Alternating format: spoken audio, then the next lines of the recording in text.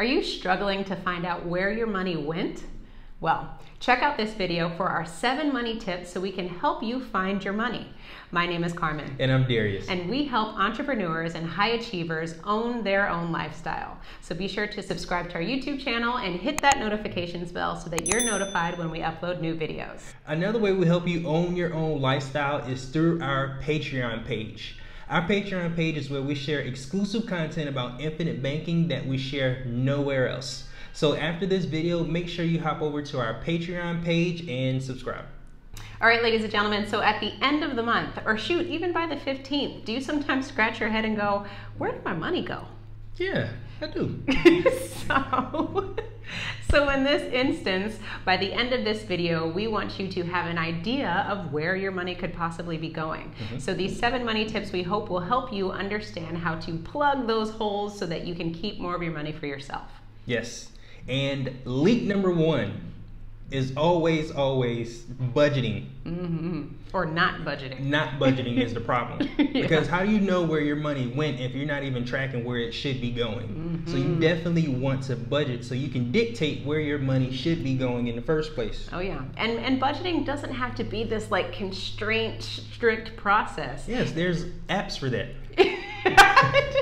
what I meant is it, it doesn't have to be restrictive. It's more so you just having a plan as far as where your money is going mm-hmm. and you're not trying to restrict your spending. You just want to be able to allocate exactly where everything's going so it's organized. Yes, and one thing that we use is mint.com and help us organize our uh, spending and our savings so that we know exactly every single month where our money is going and how we are in regards to our budget for the specific month.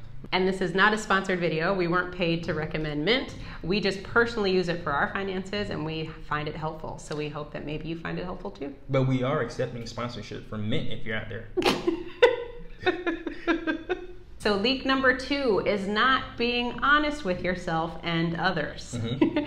others meaning us, because we're financial coaches trying to help you. So, what we find is a lot of times when people have budgets in place, they're not really honest with how everything's being allocated or mm-hmm. where their money is going in the first place. So, it is imperative that you are honest with yourself and really understanding where your money problems lay in the first place. Mm-hmm. You know, are you eating out too much? Are you spending too much money on shopping and clothes or video games or whatever it is? You you really need to be honest so that others who are helping you with your finances can help you navigate to the financial goals that you're trying to accomplish. Yeah, and even if you don't want to stop eating out every single day, mm-hmm. at least pick a few days during the week where you're going to stay home and actually go to the grocery store and cook because it's a lot cheaper to cook your own food than go out to restaurants for breakfast, lunch, and dinner.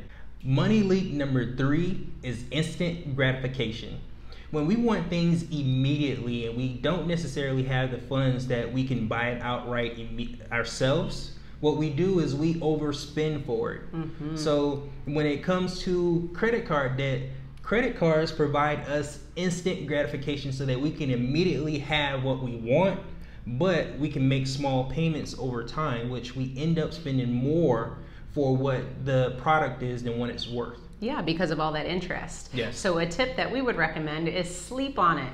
If you find a product or service that you think you can't live without, sleep on it. yes. because nine times out of ten, what Darius and I have done is we sleep on it every single time. If we find a gadget that we really like, we just sleep on it, and by the time we wake up, we realize that you know what, we don't even need it. Exactly. So that is exactly what we talk about. Immediate gratification can get us into trouble and then make us go, oh, I needed that money for X, Y, and Z, but you spent it on a gadget. Money leak number four is investing ignorantly. Even Warren Buffett says don't invest in something if you don't understand what it is. So you have to make sure that you understand what's going on before you even invest your money. And we can totally attest to that because we dropped 20 grand on a real estate investing program on a credit card, mm-hmm. and they told us that they were going to teach us everything that we knew about real estate.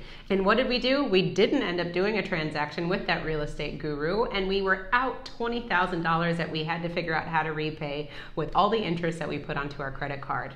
Now, uh, now tying into immediate gratification, right? So we dropped all that money and not even realizing that there are free resources within our county, within our city that we could have utilized to help us get the education that we needed to understand how to mm-hmm. invest in real estate. So definitely check out your, if you're thinking about investing in real estate, don't drop all the money on that real estate guru program because you can use that money to invest in real estate. Right. Go to your local city's real estate office and find out when the networking events are. Yes, and the larger one is the Real Estate Investing Association. When you go to these events, they usually have a ton of vendors where you can find every single thing that you need to learn about the real estate environment in your local area. And additionally, not even just with real estate, we're talking about investing in general. So if you're working with a financial planner and they're teaching you about investing in mutual funds and stocks and bonds and all sorts of stuff, you need to make sure that you understand all of the intricacies of what's going on mm-hmm. because otherwise you could be losing money or gaining money and you don't even know what's going on. And to be honest, that even pertains to infinite banking a lot of people want to get involved with infinite banking and hadn't even read Nelson Nash's book. Mm-hmm. So really take these things into consideration when you're talking about investing in something that you have no clue what you're investing in. Money leak number five is cable. Cable over time has become so expensive. And one way to cut the cable cord is to subscribe to Netflix, Hulu, or watch YouTube. Now, again, we aren't promoting any of these companies. But we would if you offered. we, we just want to help you save a few dollars. And we saved a significant amount of money by switching from cable to uh, apps like Hulu and Netflix and Sling. And we cut everything drastically in half. I mean, the most that we were paying for cable at one time was 20 bucks a month. Mm-hmm. And that was with three different apps. So that's significant amount of money that you can cut that you can keep more in your pocket. Yes, and there's this thing called reading a book that is a lot cheaper. Carmen. And I was going to say, these days we end up being so busy that half the time we're not even watching our TVs to begin with. Right. If you fall into that category, then you may want to check out looking into other options so that you're not spending so much on a monthly basis. Yeah, and if you're watching this video, you probably already cut the cable because you're watching YouTube. True. Money leak number six is bank fees.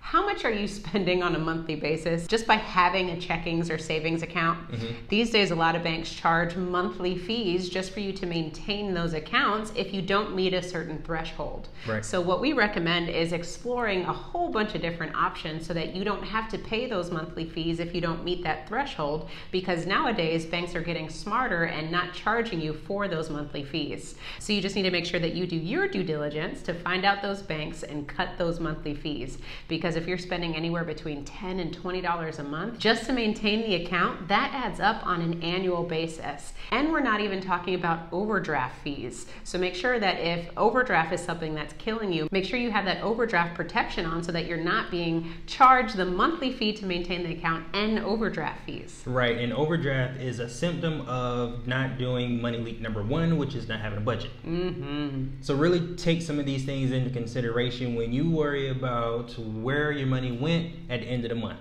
Mm-hmm. It's all connected. Yes. Money leak number seven subscriptions. Now we're in the second quarter of the year, and the New Year's resolution of going to the gym has long but faded. But your gym membership is still there, charging you every single month. Mm-hmm. Now you can get rid of this membership and do a go to cheaper route of maybe getting a yoga mat putting on some YouTube and doing yoga at home so that you can get into the habit. And then when you have that habit, then you start going to the gym. Mm-hmm. Kind of goes with the immediate gratification yes. piece of it too. Yeah.